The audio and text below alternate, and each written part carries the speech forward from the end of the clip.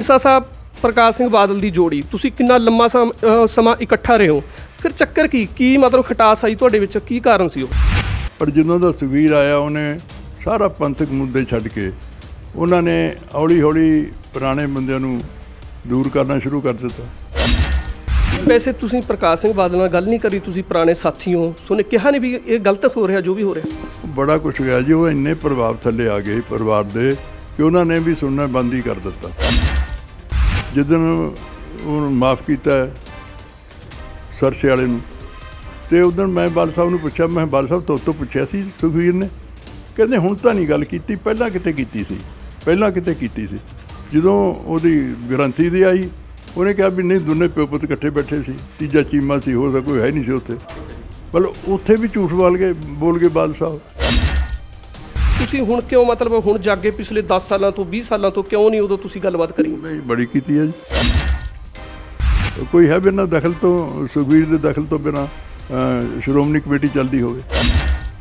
ਹਰ ਰੋਜ਼ ਜੋ ਗਲਤ ਕੰਮ ਹੋ ਰਹੇ ਨੇ ਇਹਦੇ ਕੋਲ ਫਾਈਲਾਂ ਭੇਜ ਦਿੰਦੇ ਇੱਥੋਂ ਦੱਸ ਕੇ ਕਰ- ਰੱਖ ਲੈ ਜਾਂਦੇ ਨੇ। ਯਾਨੀ ਕਿ ਪੂਰਾ ਸੁਖਵੀਰ ਬਾਦਲ ਦੇ ਇਸ਼ਾਰੇ ਤੇ ਚੱਲ ਰਿਹਾ ਜੋ ਵੀ ਸਿਸਟਮ ਆ। 100% ਸੁਖਬੀਰ ਬਾਦਲ ਦੇ ਇਸ਼ਾਰੇ ਤੇ ਹੋ ਰਿਹਾ। ਮੈਂ ਤੇ ਸੁਖਬੀਰ ਦੋਨੋਂ ਤਿੰਨੇ ਹਲਕੇ ਬਰਨਾਲੇ ਚ ਗਏ। 30 15 15 20 ਹਜ਼ਾਰ ਦਾ ਇਕੱਠ ਸੀ। ਲੇਕਿਨ ਹਰੇ ਸਾਡੇ ਬੰਦੇ 30 30 ਹਜ਼ਾਰ ਤੇ। ਇਕੱਠ ਨੂੰ ਤੁਸੀਂ ਕੀ ਕਰੋਗੇ? ਕਹਿੰਦੇ ਨਹੀਂ ਉਹ ਤਾਂ ਹੋਊਗੀ। ਉਹਨਾਂ ਨੇ ਕੋਟਕਪੂਰੀ ਤੋਂ ਫਰੀਦਕੋਟ ਤਾਂ ਕਰ ਲਈ ਜਦੋਂ ਮੈਂ ਆਇਆ। ਪਰ ਉਦੋਂ ਨਹੀਂ ਮਨ ਬਣਾ ਲਿਆ ਕਿ ਮੈਂ ਹੁਣ ਇਹਨਾਂ ਨਾਲ ਨਹੀਂ ਰਹਿ ਸਕਦਾ। ਪਾਰਟੀ ਤੋਂ ਅਲੱਗ ਹੋਏ ਉਸ ਤੋਂ ਬਾਅਦ ਸ਼ਾਂਤ ਹੋ ਗਏ ਤੁਸੀਂ। ਫਿਰ ਪਾਰਟੀ ਬਣਾਉਣ ਦਾ ਮਨ ਤੁਸੀਂ ਕਿਵੇਂ ਬਣਾਇਆ? ਨਹੀਂ ਮੈਂ 5-6 ਮਹੀਨੇ ਨਹੀਂ ਤੁਰਿਆ। ਜਦੋਂ ਫਿਰ ਆ ਜਿਹੜੀਆਂ ਹੋਈਆਂ ਤਾਂ ਮੈਂ ਦੱਸ ਕੇ ਹਟਿਆ ਵੀ ਗੁਰੂ ਗ੍ਰੰਥ ਸਾਹਿਬ ਦੇ ਜੋ ਐਜੀਪੀਸੀ ਨੂੰ ਖਾਣਾ ਸ਼ੁਰੂ ਕੀਤਾ ਉਦੋਂ ਮੈਂ ਕਿਹਾ ਵੀ ਹੁਣ ਤਾਂ ਇੰਤਹਾਈ ਹੋ ਗਈ ਵੀ ਕੱਲ ਨੂੰ ਸਾਡੀਆਂ ਪੁਸ਼ਤਾਂ ਕੀ ਕਹਿਣਗੀਆਂ ਸਾਹਿਬ? ਕੋਈ ਅਕਾਲੀ ਵੀ ਨਹੀਂ ਸੀ। ਗੁਰਦੁਆਰਿਆਂ ਨੂੰ ਖਾਂਦੇ ਜਾ ਰਹੇ ਤੇ ਕੋਈ ਵੀ ਨਹੀਂ ਬੋਲਿਆ। ਸੁਖਵੀਰ ਬਾਦਲ ਕਹਿ ਰਹੇ ਨੇ ਵੀ ਕਾਪੀਆਂ ਬਣ ਰਹੀਆਂ ਨੇ। ਪਾਰਟੀਆਂ ਨੇ ਜਿਹੜੀਆਂ ਪਹਿਲਾਂ ਸ਼੍ਰੋਮਣੀ ਅਕਾਲੀ ਦਲ ਟਕਸਾਲੀ ਬਣੀ ਹੁਣ ਸ਼੍ਰੋਮਣੀ ਅਕਾਲੀ ਦਲ ਬਣਾਈ ਢੀਂਡਸਾ ਸਾਹਿਬ ਨੇ ਵੀ ਉਹ ਕਾਪੀਆਂ ਨੇ ਜੀ ਕਾਪੀਆਂ ਕਿੰਨਾ ਕੁ ਟਾਈਮ ਚੱਲਣਗੀਆਂ? ਇਹ ਉਹਨੂੰ ਗਲਤ ਫਹਿਮੀ ਹੈ। ਉਹਨੂੰ ਇਹ ਵਹਿਮ ਹੈ। ਉਹ ਇੱਕ ਟੌੜਾ ਸਾਹਿਬ ਵਾਲੀ ਗੱਲ ਲੈ ਕੇ ਬਹਿ ਜਾਂਦੇ ਨੇ। ਬ੍ਰਹਮਪੁਰਾ ਜੀ ਤੇ ਅ, ਸੇਖਵਾਂ ਜੀ ਨੇ ਪਾਰਟੀ ਬਣਾਈ। ਉਹਨਾਂ ਨੇ ਕਿਹਾ ਵੀ ਇੱਥੇ ਯੋਧੇ ਨੇ ਜਾਂ ਜੋ ਵੀ ਆਪਾਂ ਇਹ ਯੋਧੇ ਅੱਗੇ ਕਰਨੇ ਨੇ ਹੋਰ ਕਰਨਾ। ਉਸ ਤੋਂ ਬਾਅਦ ਉੱਥੇ ਉਹ ਵਾਅਦੇ ਕਰਕੇ ਬ੍ਰਹਮਪੁਰਾ ਜੀ ਨੂੰ ਛੱਡ ਕੇ ਸੇਖਵਾਂ ਜੀ ਤੁਹਾਡੇ ਨਾਲ ਆ ਗਏ। ਕੀ ਇਹ ਮੁੱਕਰ ਮਗਰਾਈ ਆ ਇਹ ਬੇਅਦਬੀ ਨਹੀਂ ਹੈ? ਨਹੀਂ ਇਹ ਤਾਂ ਉਹਨਾਂ ਉਹ ਦੱਸੋ ਉਹ ਜਵਾਬ ਦੇ ਦੇ ਮੈਂ ਤਾਂ ਕਿਸੇ ਨੂੰ ਨਹੀਂ ਬੁਲਾਇਆ।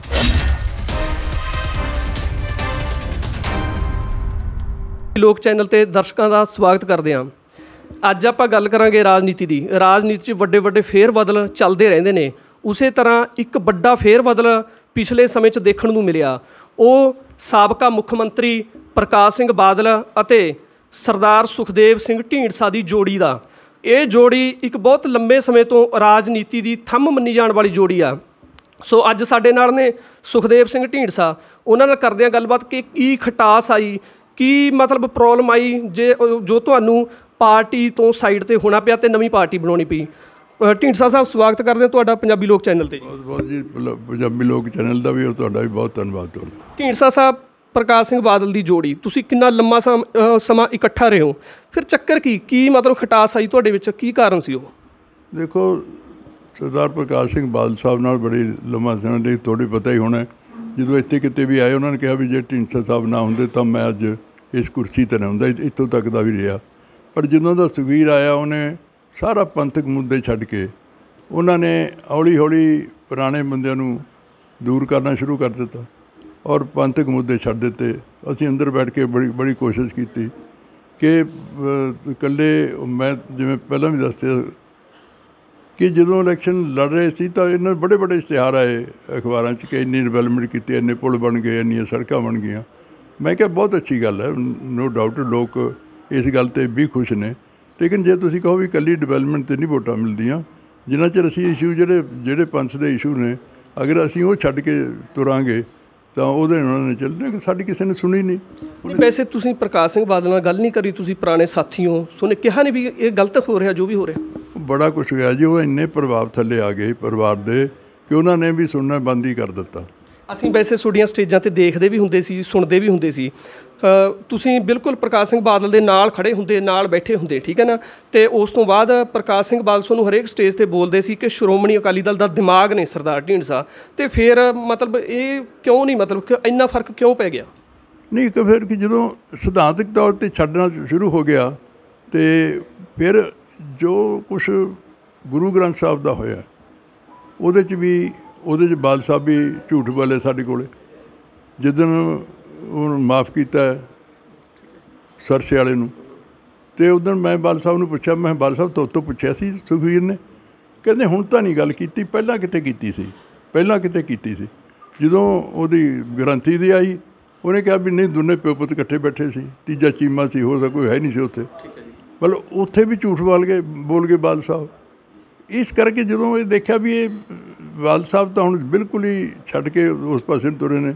ਵੱਡੀ ਗੱਲ ਇਹ ਹੈ ਕਿ ਜਦੋਂ ਗੁਰੂ ਗ੍ਰੰਥ ਸਾਹਿਬ ਦੇ ਗੁਰੂ ਨਾਨਕ ਗੁਰੂ ਨਾਨਕ ਦੇਵ ਜੀ ਦੇ 550 ਸਾਲਾ ਮਨਾਇਆ ਹੁਣ ਤੁਸੀਂ ਦੱਸੋ ਉਦੋਂ 13.5 ਕਰੋੜ ਰੁਪਇਆ ਲੱਗ ਸਕਦਾ ਇੱਕ ਟੈਂਟ ਤੇ? ਵੀ ਵੱਡੀ ਕਪੜੇਬਾਜੀ ਹੋਈ ਆ ਉਦੋਂ? ਰੋਜ਼ ਕਪੜੇਬਾਜੀ ਇੱਕ ਨਹੀਂ ਰੋਜ਼ ਕਿਤੇ 12 ਲੱਖ ਦਾ ਸਬਜ਼ੀ ਆ ਗਈ ਜਦੋਂ ਕਰੋਨਾ 'ਚ ਕੋਈ ਲੰਗਰੀ ਬਣਿਆ ਨਹੀਂ।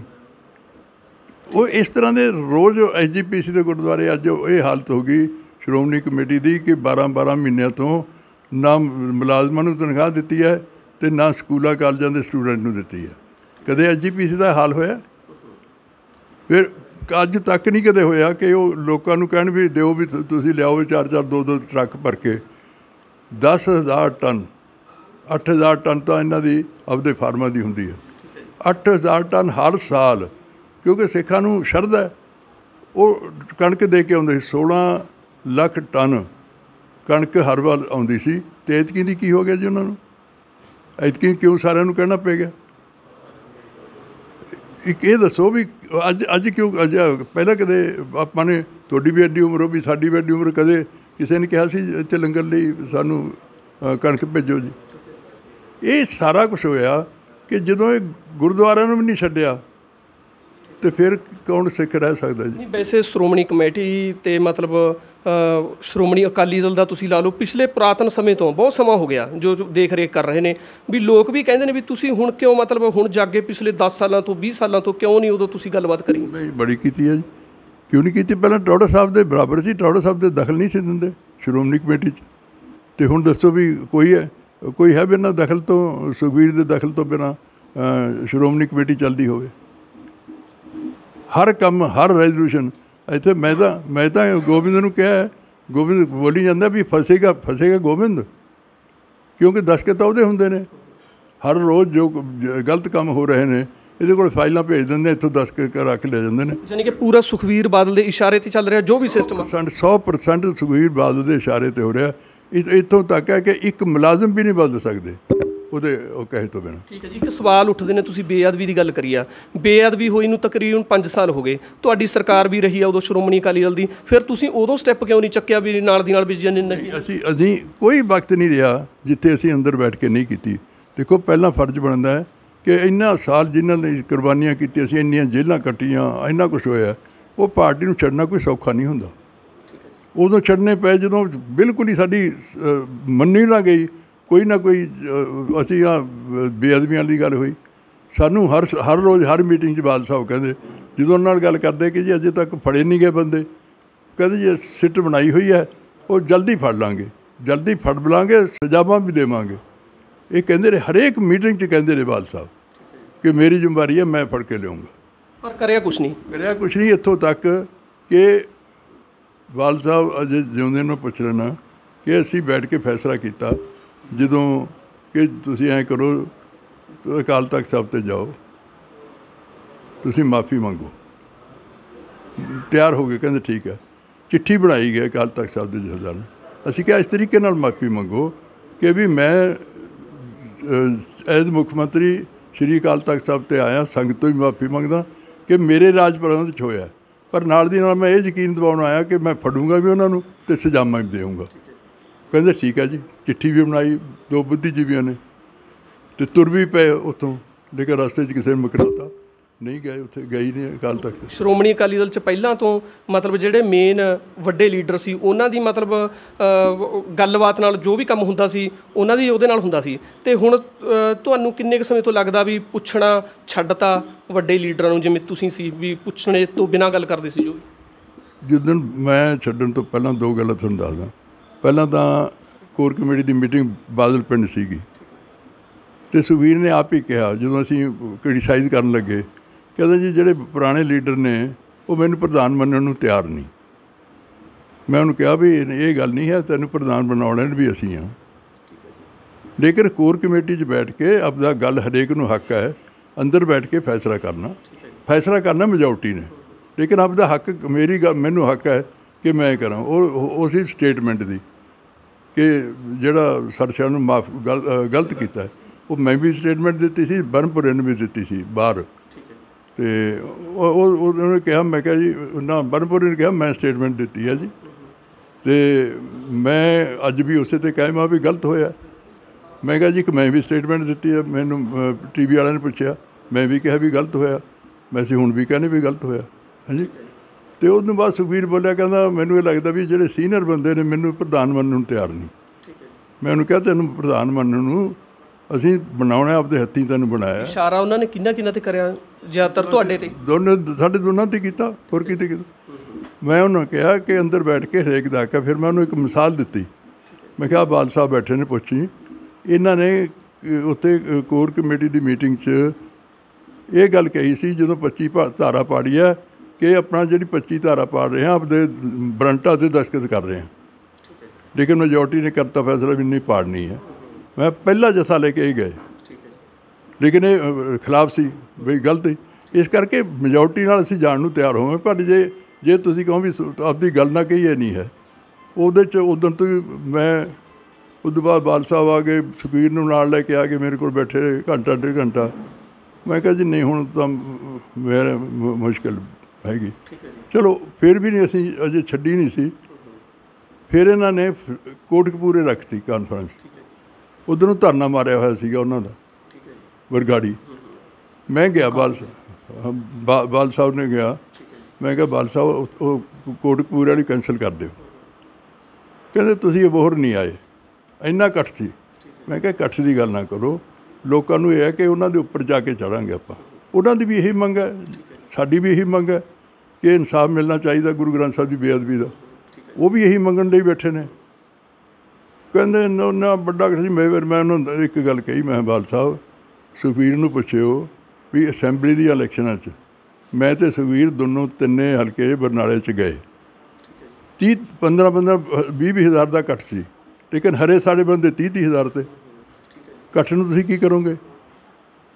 ਕਹਿੰਦੇ, ਨਹੀਂ, ਉਹ ਤਾਂ ਹੋਊਗੀ। ਉਹਨਾਂ ਨੇ ਕੋਟਕਪੂਰੀ ਤੋਂ ਫਰੀਦਕੋਟ ਤਾਂ ਕਰ ਲਈ ਜਦੋਂ ਮੈਂ ਆਇਆ। ਮੈਂ ਉਦੋਂ ਨਹੀਂ ਮਨ ਬਣਾ ਲਿਆ ਕਿ ਮੈਂ ਹੁਣ ਇਹਨਾਂ ਨਾਲ ਨਹੀਂ ਰਹਿ ਸਕਦਾ। ਵੀ ਦੱਸੋ ਉਹਨਾਂ ਦਾ ਕੀ ਉਹ ਤੁਹਾਡਾ ਉਹਨਾਂ ਨੂੰ ਅਸੀਂ ਪਹਿਲਾਂ ਕਹਿੰਦੇ ਰਹੇ ਵੀ ਉੱਥੇ ਜਾਓ ਤੁਸੀਂ। ਜਾ ਕੇ ਕਹੋ ਵੀ ਭਾਈ ਅਸੀਂ ਵੀ ਇਸ ਚੀਜ਼ ਦੇ ਹੱਕ 'ਚ ਹਾਂ। ਪਰ ਨਹੀਂ ਗਿਆ ਕੋਈ। ਇਸ ਕਰਕੇ ਫਿਰ ਮਨ ਬਣਿਆ ਕਿ ਨਹੀਂ ਇਹਨਾਂ ਨਾਲ ਨਹੀਂ ਚੱਲਿਆ ਜਾ ਸਕਦਾ। ਤੁਸੀਂ ਪਾਰਟੀ ਤੋਂ ਅਲੱਗ ਹੋਏ ਉਸ ਤੋਂ ਬਾਅਦ ਸ਼ਾਂਤ ਹੋ ਗਏ ਤੁਸੀਂ। ਫਿਰ ਪਾਰਟੀ ਬਣਾਉਣ ਦਾ ਮਨ ਤੁਸੀਂ ਕਿਵੇਂ ਬਣਾਇਆ? ਨਹੀਂ ਮੈਂ ਪੰਜ ਛੇ ਮਹੀਨੇ ਨਹੀਂ ਤੁਰਿਆ। ਜਦੋਂ ਫਿਰ ਆ ਜਿਹੜੀਆਂ ਹੋਈਆਂ ਤੁਹਾਨੂੰ ਮੈਂ ਦੱਸ ਕੇ ਹਟਿਆ ਵੀ ਗੁਰੂ ਗ੍ਰੰਥ ਸਾਹਿਬ ਦੇ ਜੋ ਐਜੀਪੀਸੀ ਨੂੰ ਖਾਣਾ ਸ਼ੁਰੂ ਕੀਤਾ ਉਦੋਂ ਮੈਂ ਕਿਹਾ ਵੀ ਹੁਣ ਤਾਂ ਇੰਤਹਾਈ ਹੋ ਗਈ। ਵੀ ਕੱਲ ਨੂੰ ਸਾਡੀਆਂ ਪੁਸ਼ਤਾਂ ਕੀ ਕਹਿਣਗੀਆਂ? ਸਾਹਿਬ ਕੋਈ ਅਕਾਲੀ ਵੀ ਨਹੀਂ ਸੀ। ਗੁਰਦੁਆਰਿਆਂ ਨੂੰ ਖਾਂਦੇ ਜਾਏ ਰਹੇ ਤੇ ਕੋਈ ਵੀ ਨਹੀਂ ਬੋਲਿਆ। ਮੈਂ ਕਿਹਾ ਹੁਣ ਤਾਂ ਬੋਲਣਾ ਪੈਣਾ ਕੁਝ ਉੱਠ ਕੇ ਉੱਠਣਾ ਪੈਣਾ। ਫਿਰ ਮੈਂ ਬੰਦੇ ਸ਼ੁਰੂ ਕਰਤੇ। ਫਿਰ ਮੈਂ ਵੱਖਰੇ ਹੋ ਕੇ ਅਸੀਂ ਤੁਹਾਨੂੰ ਪਤਾ ਵੀ ਛੱਡ ਕੇ ਪਾਰਟੀ ਤੋਂ ਬਾਅਦ ਮੈਂ ਪੰਜ ਛੇ ਮਹੀਨੇ ਘਰ ਹੀ ਰਿਹਾ ਮੈਂ ਗਿਆ ਹੀ ਨਹੀਂ ਕਿਤੇ। ਪਰ ਜਦੋਂ ਇਹ ਹੋ ਗਿਆ ਕਿ ਸ਼੍ਰੋਮਣੀ ਕਮੇਟੀ ਤਾਂ ਹੁਣ ਇਹ ਖਾਣੀ ਸ਼ੁਰੂ ਕਰ ਦਿੱਤੀ ਵੀ ਗੁਰਦੁਆਰਾ ਦਾ ਤਾਂ ਇੱਕ ਨਵਾਂ ਪੈਸਾ ਵੀ ਅਸੀਂ ਅਹ, ਜ਼ਾਇਆ ਨਹੀਂ ਹੋਣ ਦਿੰਦੇ। ਉਹ ਜ਼ਹਿਰ ਹੈ ਜੇ ਕੋਈ ਖਾਵੇ। ਪਰ ਉਹ ਖਾ ਰਹੇ ਨੇ। ਸੁਖਵੀਰ ਬਾਦਲ ਕਹਿ ਰਹੇ ਨੇ ਵੀ ਕਾਪੀਆਂ ਬਣ ਰਹੀਆਂ ਨੇ। ਪਾਰਟੀਆਂ ਨੇ ਜਿਹੜੀਆਂ ਪਹਿਲਾਂ ਸ਼੍ਰੋਮਣੀ ਅਕਾਲੀ ਦਲ ਟਕਸਾਲੀ ਬਣੀ ਹੁਣ ਸ਼੍ਰੋਮਣੀ ਅਕਾਲੀ ਦਲ ਬਣਾਈ ਢੀਂਡਸਾ ਸਾਹਿਬ ਨੇ ਵੀ ਉਹ ਕਾਪੀਆਂ ਨੇ ਜੀ ਕਾਪੀਆਂ ਕਿੰਨਾ ਕੁ ਟਾਈਮ ਚੱਲਣਗੀਆਂ? ਇਹ ਉਹਨੂੰ ਗਲਤਫਹਿਮੀ ਹੈ। ਮੈਂ ਕਿੰਨੀ ਵਾਰੀ ਮਿਸਾਲਾਂ ਦਿੱਤੀਆਂ ਸਾਰੇ ਪ੍ਰਧਾਨ ਬਦਲੇ ਗਏ ਜਿਨ੍ਹਾਂ ਨੇ ਗਲਤੀ ਕੀਤੀ। ਮਾਸਟਰ ਤਾਰਾ ਸਿੰਘ ਵੱਡਾ ਕੋਈ ਲੀਡਰ ਨਹੀਂ ਹੁਣ 30 ਸਾਲ ਸਿੱਖਾਂ ਦੇ ਦਿਲਾਂ ਤੇ ਰਾਜ ਕੀਤਾ। ਅਸੀਂ ਤਾਂ ਜੇ ਦੇਖਿਆ ਨਹੀਂ ਉਹਨਾਂ ਦਾ ਬਹੁਤਾ। ਉਹਨੂੰ ਜਿੱਦਣੋਂ ਮ- ਮਰਨ ਵਰਤ ਛੱਡ ਕੇ ਉਹਨੇ ਗਲਤੀ ਕੀਤੀ ਉਹਨੂੰ ਬਦਲ ਕੇ ਸੰਤ ਫਤਿਹ ਸਿੰਘ ਲਿਆਂਦਾ ਉਹਨੂੰ ਬਦਲਿਆ ਨਹੀਂ ਉਹ ਪ੍ਰਧਾਨ ਨਹੀਂ ਸੀ। ਫਿਰ ਸੰਤ ਫਤਿਹ ਸਿੰਘ ਨੇ ਵੀ ਉਹੀ ਗਲਤੀ ਕੀਤੀ। ਉਹਨੂੰ ਬਦਲ ਕੇ ਜਹਦਰ ਤੁੜ ਲਿਆਂਦਾ। ਇਸ ਕਰਕੇ ਜਹਦਰ ਤੁੜ ਤੋਂ ਬਾਅਦ ਤਲਵੰਡੀ ਸਾਹਿਬ ਆਏ। ਤਲਵੰਡੀ ਸਾਹਿਬ ਦੇ ਖਿਲਾਫ ਹੋ ਗਏ ਪੰਥ। ਤੇ ਨਹੀਂ ਉਸ ਤੋਂ ਬਾਅਦ ਸੰਤ ਲੌਂਗੋਵਾਲ ਬਣੇ। ਫਿਰ ਸੰਤ ਲੌਂਗੋਵਾਲ ਤੋਂ ਬਾਅਦ ਬਰਨਾਲਾ ਬਣੇ। ਬਰਨਾਲੇ ਨੇ ਪੁਲਿਸ ਭੇਜੀ। ਤੇ ਉਹਨੂੰ ਬਦਲ ਕੇ ਫਿਰ ਬਾਦਲ ਸਾਹਿਬ ਬਣੇ। ਵਿੱਚ ਦੀ ਅਸੀਂ ਸਾਰਿਆਂ ਨੇ ਮੰਨ ਲਿਆ ਸਦੀ ਜਦੋਂ ਸਾਰੀਆਂ ਜਿੱਤੇ ਨੇ ਮਾਨ ਮਾਨਦਾਲ ਵਾਲੇ ਅਸੀਂ ਸਾਰਿਆਂ ਨੇ ਸਿਮਰਜੀਤ ਸਿੰਘ ਮਾਨ ਨੂੰ ਪ੍ਰਧਾਨ ਮੰਨ ਲਿਆ ਸੀ। ਠੀਕ ਹੈ ਜੀ। ਫਿਰ ਜਦੋਂ ਨਾ ਚੱਲ ਸਕਿਆ ਫਿਰ ਬਾਦਲ ਨੂੰ ਬਣਾਉਣਾ ਪਿਆ। ਇਸ ਕਰਕੇ ਸਾਰੇ ਬਦਲੇ ਨੇ ਪ੍ਰਧਾਨ। ਉਹਨੂੰ ਵਹਿਮ ਹੈ। ਉਹ ਇੱਕ ਟੌੜਾ ਸਾਹਿਬ ਵਾਲੀ ਗੱਲ ਲੈ ਕੇ ਬਹਿ ਜਾਂਦੇ ਨੇ। ਉਦੋਂ ਲੋਕ ਬਾਦਲ ਦੇ ਨਾਲ ਸੀ ਟੌੜੇ ਨਾਲ ਨਹੀਂ ਸੀ ਉਹ ਸਾਰੇ ਨੇ ਇਕੱਠੇ ਹੁੰਦੇ। ਅਸੀਂ ਲੜਾਈ ਲੜੀ ਆ ਬਾਦਲ ਇਸੇ ਗੱਲ ਨੂੰ ਕਹਿੰਦਾ ਸੀ ਕਿ ਬਾਦਲ ਨੂੰ ਤਾਂ ਘੇਰ ਲਿਆ ਸੀ ਉਹਨਾਂ ਨੇ। ਅਸੀਂ ਲੜਾਈ ਪੰਜ ਦੀ, ਪੰਜ ਮੈਂਬਰਾਂ ਦੀ ਕਮੇਟੀ ਬਣਾਈ ਜਿਹਦਾ ਮੈਂ ਕਨਵੀਨਰ ਸੀ। ਠੀਕ ਤੇ ਅਸੀਂ ਲੜਾਈ ਲੜੀ ਕਿਉਂਕਿ ਲੋਕ ਬਾਦਲ ਦੇ ਹੱਕ ਸੀਗੇ। ਜਦੋਂ ਅਕਾਲ ਤਖਤ ਤੇ ਬੁਲਾਇਆ ਗਿਆ, ਅਕਾਲ ਤਖਤ ਸਾਹਿਬ ਤੇ ਬਾਦਲ ਨੂੰ ਲੋਕ ਲੱਖਾਂ ਦੀ ਤਾਦਾਦ ਚ ਗਏ ਸੀ। ਹੁਣ ਲੈ ਕੇ ਜਾਣਗਾ। ਹੁਣ ਕੋਈ ਸਿੱਖ ਜਾਣ ਨੂੰ ਤਿਆਰ ਉਹਨਾਂ ਨਾਲ। ਇਹ ਵਕਤ ਹੈ ਲੋਕਾਂ ਨਾਲ, ਡੈਮੋਕ੍ਰੈਟਿਕ ਸਿਸਟਮ ਹੈ। ਖਾਸ ਕਰਕੇ ਪੰਥ ਦੀ ਰਾਜਨੀਤੀ ਉਹ ਲੋਕਾਂ ਨਾਲ ਹੈ। ਸ਼੍ਰੋਮਣੀ ਅਕਾਲੀ ਦਲ ਦੇ ਪ੍ਰਧਾਨ ਜਦੋਂ ਸੁਖਵੀਰ ਬਣੇ ਉਦੋਂ ਤੁਹਾਨੂੰ ਪੁੱਛਿਆ ਗਿਆ ਜੋ ਦੁਬਾਰਾ ਹੁਣ ਬਣਾਏ ਨੇ? ਅੱਛਾ ਜੀ। ਨਹੀਂ ਦੂਜੀ ਵਾਰੀ ਨਹੀਂ ਪਹਿਲੀ ਵਾਰੀ। ਦੂਜੀ ਵਾਰੀ ਤਾਂ ਛੱਡ ਗਏ ਸੀ। ਤੇ ਫਿਰ ਇਹ ਤਾਂ ਪਹਿਲੀ ਵਾਰੀ ਤਾਂ ਸਾਨੂੰ ਬਾਲ ਸਾਹਿਬ ਨੇ ਕ- ਇਕੱਲੇ ਸਾਰਿਆਂ ਨੂੰ ਮੀਟਿੰਗ 'ਚ ਬੁਲਾ ਕੇ ਕਿਹਾ ਕਿ ਆਪਾਂ ਹੁਣ ਬੁੱਢੇ ਹੋ ਗਏ ਨੌਜਵਾਨ ਨੂੰ ਦਈਏ। ਨੌਜਵਾਨ ਨੂੰ ਮੈਂ ਕਿਹਾ ਠੀਕ ਹੈ ਜੀ ਅਸੀਂ ਤਾਂ ਰਿਟਾਇਰਮੈਂਟ ਬਹੁਤ ਕੁਝ ਦੇਖ ਲਿਆ। ਕਹਿੰਦੇ ਸੁਖਬੀਰ ਨੂੰ ਚਾਂਸ ਦੇ ਕੇ ਦੇਖ ਲਓ। ਅਸੀਂ ਕਿਹਾ ਜੀ ਦੇਖ ਲਓ। ਅਸੀਂ ਅਸੀਂ ਮੰਨਿਆ ਆਪ ਵੀ ਦਿਓ ਚਾਂਸ ਦਿਓ। ਪਰ ਉਹ ਸਾਨੂੰ ਕੀ ਪਤਾ ਸੀ, ਸੁਖਬੀਰ ਸਿੰਘ, ਇਹ- ਉਸ ਹੱਦ ਤੱਕ ਚਲਿਆ ਜਾਊਗਾ। ਵੀ ਪੰਥ ਨੂੰ ਮਾਰਨਾ, ਮਾਰਨ ਲਈ ਚਲਿਆ ਜਾਊਗਾ। ਠੀਕ ਆਪਾਂ ਬੇਅਦਬੀ ਦੀ ਗੱਲ ਕਰਦੇ ਹਾਂ, ਢੀਂਡਸਾ ਸਾਹਿਬ। ਜਦੋਂ ਵੀ ਕੋਈ ਨਵੀਂ ਪਾਰਟੀ ਬਣਦੀ ਹੈ, ਚਾਹੇ ਉਹ ਟਕਸਾਲੀਆਂ ਨੇ ਬਣਾਈ, ਉਹ ਵੀ ਸ੍ਰੀ ਗੁਰੂ ਗ੍ਰੰਥ ਸਾਹਿਬ ਜੀ ਹਜ਼ੂਰੀ 'ਚ ਹਾਜ਼ਰੀ 'ਚ ਬਣਾਈ ਤੇ ਤੁਸੀਂ ਪਾਰਟੀ ਬਣਾਈ ਆ ਉਹ ਵੀ ਸ੍ਰੀ ਗੁਰੂ ਗ੍ਰੰਥ ਸਾਹਿਬ ਦੀ ਹਾਜ਼ਰੀ 'ਚ। ਉੱਥੇ ਤੁਸੀਂ ਐ ਲਾ ਲਓ ਵੀ ਬ੍ਰਹਮਪੁਰਾ ਜੀ ਤੇ ਅ, ਸੇਖਵਾਂ ਜੀ ਨੇ ਪਾਰਟੀ ਬਣਾਈ ਉਹਨਾਂ ਨੇ ਕਿਹਾ ਵੀ ਇੱਥੇ ਯੋਧੇ ਨੇ ਜਾਂ ਜੋ ਵੀ ਆਪਾਂ ਇਹ ਯੋਧੇ ਅੱਗੇ ਕਰਨੇ ਨੇ ਹੋਰ ਕਰਨਾ। ਉਸ ਤੋਂ ਬਾਅਦ ਉੱਥੇ ਉਹ ਵਾਅਦੇ ਕਰਕੇ ਬ੍ਰਹਮਪੁਰਾ ਜੀ ਨੂੰ ਛੱਡ ਕੇ ਸੇਖਵਾਂ ਜੀ ਤੁਹਾਡੇ ਨਾਲ ਆ ਗਏ। ਕੀ ਇਹ ਮੁੱਕਰ ਮਗਰਾਈ ਆ? ਇਹ ਬੇਅਦਬੀ ਨਹੀਂ ਹੈ? ਨਹੀਂ ਇਹ ਤਾਂ ਉਹਨਾਂ ਉਹ ਦੱਸੋ ਉਹ ਜਵਾਬ ਦੇ ਦੇ ਮੈਂ ਤਾਂ ਕਿਸੇ ਨੂੰ ਨਹੀਂ ਬੁਲਾਇਆ। ਠੀਕ ਹੈ ਜੀ। ਉਹ ਚਾਰੇ ਬੰਦੇ ਮੇਰੇ ਕੋਲੇ ਆ ਗਏ ਪੰਜ ਮੈਂਬਰੀ ਕਮੇਟੀ ਸੀ ਉਹਨਾਂ ਦੀ। ਉਹਨਾਂ ਨੇ ਪਹਿਲਾਂ ਅੰਦਰ ਬੈਠ ਕੇ ਕਿਹਾ, ਬਰਨਪੁਰਾ ਸਾਹਿਬ ਨੂੰ ਵੀ ਆਪਣੀ ਗੱਲ ਆਪਾਂ ਤੋਂ ਚੱਲੀ ਨਹੀਂ, ਸਾਲ ਹੋ ਗਿਆ। ਵੀ ਆਪਾਂ ਚ- ਉਹਨਾਂ ਨਾਲ ਲੜੀਏ, ਉਹਨਾਂ ਦੀ ਗੱਲ ਹੈਗੀ ਆ। ਉਹ ਕਹਿੰਦਾ, ਮੈਂ ਸਲਾਹ ਕਰ ਲਾਂ, ਮੈਨੂੰ ਕਹਿੰਦਾ, ਮੈਂ ਢੀਂਡਸਾ ਸਾਹਿਬ ਨਾਲ ਮਿਲਣਾ। ਮੈਂ ਹੈ ਨਹੀਂ ਸੀਗਾ। ਤੇ ਮੈਂ ਮਿਲ ਗਿਆ, ਮੈਂ ਘਰੇ ਗਿਆ ਉਹਦੇ। ਮੈਂ ਕਿਹਾ, ਦੱਸੋ ਜੀ। ਕਹਿੰਦਾ, ਮੈਂ ਪਾਰਟੀ ਸਾਡੀ ਦੇ ਪ੍ਰਧਾਨ ਬਣ ਜਾਓ ਸੀ ਮੈਂ ਕਿਹਾ, ਮੈਂ ਤੁਹਾਡੀ ਪਾਰਟੀ ਦੇ ਮੈਂ ਨਹੀਂ, ਮੈਂ ਕਿਹਾ, ਮੈਂ ਆਪਦੇ ਵਰਕ ਨਾਲ, ਬੰਦਿਆਂ ਨਾਲ ਗੱਲ ਕਰ ਲਾਂ। ਮੈਂ ਉਹਨੂੰ ਜਾ ਕੇ ਕਿਹਾ ਮੈਂ ਧੰਨਵਾਦ ਤੁਹਾਡਾ, ਮੈਨੂੰ ਪ੍ਰਧਾਨ ਬਣਾਉਂਦੇ ਹੋ। ਪਰ ਮੈਂ ਤੁਹਾਡੀ ਪਾਰਟੀ ਦਾ ਪ੍ਰਧਾਨ ਨਹੀਂ ਬਣ ਸਕਦਾ। ਕਿਉਂਕਿ ਤੁਹਾਡੀ ਪਾਰਟੀ ਸਾਲ ਹੋ ਗਿਆ ਤੁਸੀਂ ਤਾਂ ਕਦਮ ਵੀ ਨਹੀਂ ਪਟਿਆ। ਤੇ ਇਸ ਕਰਕੇ ਮੇਰੇ ਵਰਗਾ ਕਹਿੰਦੇ ਵੀ ਆਪਾਂ ਨਵੀਂ ਪਾਰਟੀ ਬਣਾ ਕੇ ਤੁਰਾਂਗੇ। ਤੇ ਇਸ ਕਰਕੇ ਧੰਨਵਾਦ ਤੁਹਾਡਾ ਉਦੋਂ ਹੈ। ਫਿਰ ਜਿੱਦਣ ਮੈਂ ਪਾਰਟੀ ਬਣਾਈ ਹੈ, ਉਸ ਦਿਨ ਰਾਤ ਨੂੰ ਪੀਜੀਆਈ ਚ ਮਿਲ ਕੇ ਗਿਆ ਮੈਂ, ਬਰਨਪੁਰਾ ਸਾਹਿਬ ਨੂੰ। ਫਿਰ ਉਹ ਚਾਰੇ ਮੈਂਬਰ, ਪੰਜ ਮੈਂਬਰਾਂ ਦੀ ਕਮੇਟੀ ਸੀ ਕੋਰ ਕਮੇਟੀ। ਪੰਜਵੇਂ ਤਾਂ ਆਪ ਸੀਗੇ ਚਾਰ ਉਹਦੇ ਨਾਲ ਮੈਂਬਰ ਸੀ ਚਾਰੇ ਮੇਰੇ ਕੋਲੇ ਆਏ। ਚਾਰੇ ਨੂੰ ਕਹਿੰਦੇ ਜੀ ਸਾਨੂੰ ਨਹੀਂ ਮੰਨਦਾ ਅਸੀਂ ਤੁਹਾਡੇ ਨਾਲ ਤੁਰਾਂਗੇ। ਮੈਂ ਕਿਹਾ ਜੀ ਆਓ ਮੇਰੇ ਵੈਲਕਮ। ਮੇਰੇ ਘਰੇ ਆਏ ਨੇ। ਮੈਂ ਨਹੀਂ ਕਦੇ ਉਹਨਾਂ ਨੂੰ ਕਿਹਾ ਵੀ ਤੁਸੀਂ ਮੇਰੇ ਨਾਲ ਰਲੋ ਜਾਓ ਉਹ ਕਹਿੰਦੇ ਸਾਨੂੰ ਦੇਖ ਲਿਆ ਸੀ ਸਾਡੇ ਤੋਂ ਨਹੀਂ ਕੰਮ ਚੱਲਿਆ ਤੇ ਅਸੀਂ ਤੁਹਾਡੇ ਨਾਲ ਆ। ਮੈਂ ਕਿਹਾ ਆ ਜਾਓ ਉਸ ਤੋਂ ਬਾਅਦ ਦੋ ਕਿਤੇ ਉਹਦੇ ਕੋਲ ਦੋ ਵੀ ਇਹ ਕਹਿ ਕੇ ਗਏ ਵੀ ਅਸੀਂ ਦੁਬਾਰਾ ਕੋਸ਼ਿਸ਼ ਕਰ ਲੈਂਦੇ ਮਨਾਉਣ ਦੀ। ਚਲੋ ਮੈਂ ਦੁਬਾਰੇ ਨੂੰ ਉਹਨਾਂ ਨੂੰ ਕਿਹਾ ਕਿਸੇ ਨੂੰ। ਜਿਹੜੇ ਚਲੇ ਗਏ ਸੀ ਬੱਬੀ ਤੇ ਉਹ ਕੀ ਆ? ਪੀਰ ਮੁਹੰਮਦ। ਇਹ ਦੋ ਆ ਆ ਗਏ ਸਾਡੇ ਨਾਲ ਇਹ ਹੁਣ ਉਹੀ ਜਵਾਬ ਦੇ ਨੇ ਜੀ। ਵੈਸੇ ਬੈਂਸ ਭਰਾਵਾਂ ਨਾਲ ਵੀ ਸੰਪਰਕ ਰਿਹਾ ਤੁਹਾਡਾ ਚੱਲੀ ਗੱਲਬਾਤ ਪਹਿਲਾਂ ਆਉਂਦੀ ਸੀ ਵੀ ਬੈਂਸ ਭਰਾਵਾਂ ਨਾਲ ਗੱਲਬਾਤ ਚੱਲ ਰਹੀ ਬੈਂਸ- ਬੈਂਸਾਂ ਨਾਲ ਵੀ ਗੱਲਬਾਤ ਤਾਂ ਸਾਰਿਆਂ ਨਾਲ ਦੇਖੋ ਗੱਲਬਾਤ ਤਾਂ ਚੱਲਦੀ ਰਹਿਣੀ ਹੈ। ਜਿੰਨੀ ਦੇਰ ਨਹੀਂ ਹੁੰਦੇ ਗੱਲਬਾਤ ਹਰੇਕ ਨਾਲ ਚੱਲਣੀ ਹੁੰਦੀ ਰਾਜਨੀਤਿਕ ਗੱਲਬਾਤ ਚੱਲਦੀ ਹੈ। ਇੱਕ ਬੀਜੇਪੀ ਨਾਲ ਗੱਲਬਾਤ ਆ ਰਹੀ ਹੈ ਸਾਹਮਣੇ ਵੀ ਢੀਂਡਸਾ ਸਾਹਿਬ ਦਾ ਅਲਾਈਅੰਸ ਬੀਜੇਪੀ ਨਾਲ ਹੋ ਸਕਦਾ ਜਾਂ ਐਵੇਂ ਦੀਆਂ ਗੱਲਾਂ? ਇੱਕ ਸਮਝ ਲਓ। ਸੁਖਬੀਰ ਕਹਿੰਦਾ ਮੇਰੀ ਬਾਦਕਿਆ ਨਾਲ ਨਾ ਕਾਂਗਰਸ ਨਾਲ ਗੱਲ ਹੈ। ਤੇ ਕਾਂਗਰਸ ਵਾਲੇ ਕਹਿੰਦੇ ਮੇਰੀ ਬੀਜੇਪੀ ਨਾਲ ਗੱਲ ਹੈ। ਉਹ ਦੋਨੇ ਕਹੀ ਜਾਂਦੇ ਨੇ ਮੇਰੀ ਆਮ ਆਦਮੀ ਪਾਰਟੀ ਨਾਲ ਗੱਲਬਾਤ ਚੱਲ ਰਹੀ ਹੈ। ਮੇਰੀ ਕਿਸੇ ਨਾਲ ਕੋਈ ਗੱਲ ਨਹੀਂ ਚੱਲ ਰਹੀ। ਨਾ ਮੇਰੀ ਪਾਰਟੀ ਦੀ ਚੱਲ ਰਹੀ ਹੈ। ਕੇਰਾ ਸਾਡਾ ਇੱਕੋ ਹੀ ਮਕਸਦ ਹੈ ਕਿ ਪੰਥਕ ਏਜੰਡੇ ਨੂੰ ਲੈ ਕੇ ਅਸੀਂ ਪਾਰਟੀ ਮਜ਼ਬੂਤ ਕਰਨੀ ਹੈ। ਔਰ ਉਹ ਜੋ ਗਲਤ ਕੰਮ ਹੋਏ ਨੇ ਉਹਨਾਂ ਦੀ ਦਰੁਸਤੀ ਲਈ ਲੋਕਾਂ ਨੂੰ ਵਾਅਦਾ ਕਰ ਰਹੇ ਹਾਂ ਕਿ ਅਸੀਂ ਕੋਸ਼ਿਸ਼ ਕਰਾਂਗੇ ਕਿ ਉਹ ਜਿਹੜੀਆਂ ਇਹਨਾਂ ਨੇ ਧਾਰਮਿਕ ਗਲਤੀਆਂ ਕੀਤੀਆਂ ਉਹਨਾਂ ਦਾ ਅਸੀਂ ਉਹ ਪੂਰਾ ਹਿਸਾਬ ਲੈ ਕੇ ਦੇਵਾਂਗੇ। ਤੁਸੀਂ ਕਿਹਾ ਸੀ ਕਿ ਵੱਡੇ ਵੱਡੇ ਲੀਡਰ ਨੇ ਜਿਹੜੇ ਉਹ ਸਾਡੇ ਸੰਪਰਕ 'ਚ ਨੇ ਬਾਕੀ ਤੁਸੀਂ ਧਮਾਕੇ ਵੀ ਕਰ ਰਹੇ ਹੋ ਲਗਾਤਾਰ। ਹੋਰ ਕਿੰਨੇ ਕੁ ਨੇਤਾ ਤੁਹਾਡੇ ਸੰਪਰਕ 'ਚ ਨੇ ਜਾਂ ਵੱਡੇ ਲੀਡਰ? ਮੈਂ ਪ੍ਰੈਸ ਨੂੰ ਥੋੜਾ ਦੱਸ ਸਕਦਾ। ਠੀਕ ਹੈ ਇਹ ਪ੍ਰੈਸ ਨੂੰ ਗੱਲ ਨਹੀਂ ਹੋ ਸਕਦੀ। ਕੋਈ ਨਹੀਂ ਹੁੰਦੇ ਮਿਲਦੇ ਰਹਿੰਦੇ ਸਾਨੂੰ ਸਾਰੇ। ਬਾਕੀ ਪਾਰਟੀ ਦੀ ਰਣਨੀਤੀ ਤੁਹਾਡੇ ਵਾਲੀ ਪਾਰਟੀ ਦੀ ਰਣਨੀਤੀ ਆਉਣ ਵਾਲੇ ਸਮੇਂ 'ਚ ਕਿਵੇਂ ਰਹੂਗੀ? ਨਹੀਂ ਸਾਡੀ ਇੱਕੋ ਮਕਸਦ ਹੈ ਕਿ ਇਕੱਠੇ ਸਾਡੇ ਨਾਲ ਤਾਂ ਹੁਣ ਇੰਨੇ ਆ ਰਹੀ ਹੈ ਦੁਨੀਆ ਬਈ ਮੈਂ ਤੁਹਾਨੂੰ ਦੱਸ ਨਹੀਂ ਸਕਦਾ। ਆਪਣੇ ਆਪ ਆ ਰਹੇ ਨੇ। ਤੇ ਬਾਕੀ ਪਰਮਾਤਮਾ ਦੱਸੇ ਅਸੀਂ ਗੁਰੂ ਮਹਾਰਾਜ ਦੀ ਆਸ਼ੀਰਵਾਦ ਲੈ ਕੇ ਤੁਰੇ ਹਾਂ। ਠੀਕ ਹੈ ਤੇ ਇੱਕ ਦੋ ਹੀ ਗੱਲਾਂ ਨੇ ਲੋਕਾਂ ਦਾ ਸਾਥ ਤੇ ਗੁਰੂ ਮਹਾਰਾਜ ਦੀ ਕਿਰਪਾ। ਠੀਕ ਹੈ ਠੀਕ ਹੈ। ਔਰ ਦੋਨਾਂ ਨੂੰ ਨਾਲ- ਲੈ ਕੇ ਤੁਰੇ। ਠੀਕ ਹੈ ਸੋ ਇਹ ਸਨ ਰਾਜ ਸਭਾ ਮੈਂਬਰ ਸੁਖਦੇਵ ਸਿੰਘ ਢੀਂਡਸਾ ਜਿਨ੍ਹਾਂ ਨੇ ਕਿਹਾ ਕਿ ਆਪਣੀ ਪਾਰਟੀ ਨੂੰ ਅੱਗੇ ਵਧਾਵਾਂਗੇ। ਬਹੁਤ ਲੋਕ ਆ ਰਹੇ ਨੇ, ਬਹੁਤ ਲੋਕ ਜੁੜਦੇ ਜਾਣਗੇ ਤੇ ਆਉਣ ਵਾਲੇ ਸਮੇਂ 'ਚ ਸਾਡੀ ਰਣਨੀਤੀ ਹੈ ਜਿਹੜੀ ਉਹ ਵੱਡੇ ਲੈਵਲ ਤੇ ਅਸੀਂ ਲੈ ਕੇ ਜਾਵਾਂਗੇ। ਭਵਾਨੀਗੜ੍ਹ ਤੋਂ ਅਮਨਦੀਪ ਸਿੰਘ ਮਾਝਾ, ਪੰਜਾਬੀ ਲੋਕ ਚੈਨਲ।